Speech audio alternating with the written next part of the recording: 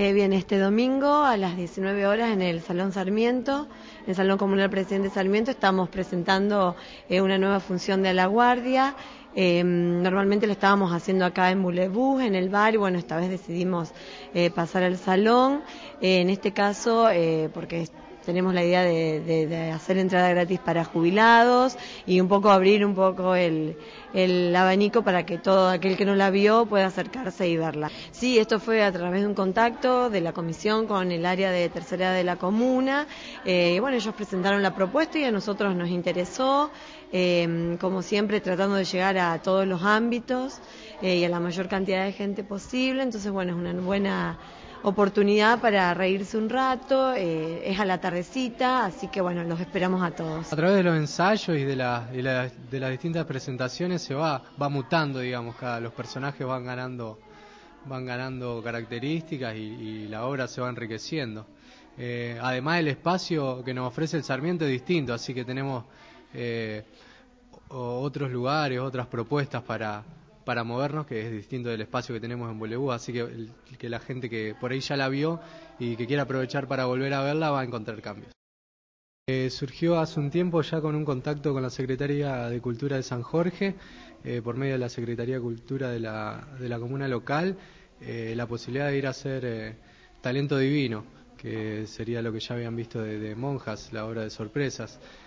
con algunas variaciones, también algunos cambios.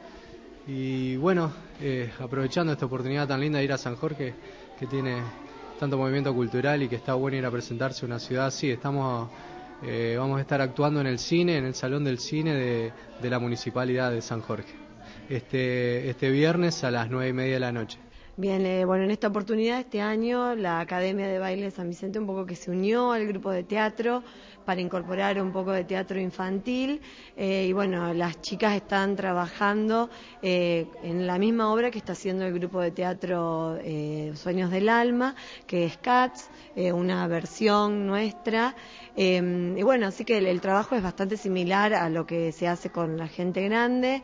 Em, ellas están, si las ven ahora, están estudiando un poco de letra, eh, porque la idea es bailar, actuar y cantar, o sea que ellas no solo eh, bailan,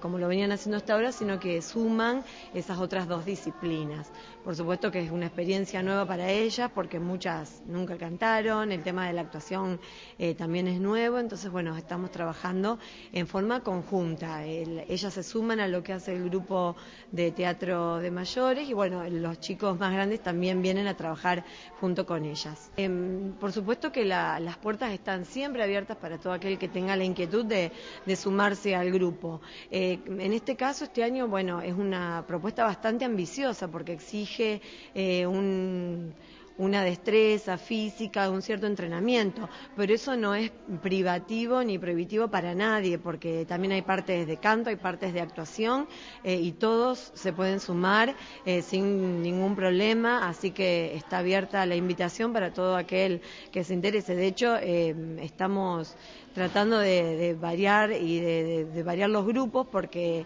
es bastante exigente a nivel físico lo que, lo que se está preparando y bueno, está bueno tener elencos rotativos como para que, se vayan cubriendo unos con otros y, todos puedan eh, disfrutarlo, porque en realidad es el fin último de esto, ¿no? Pasar un buen momento.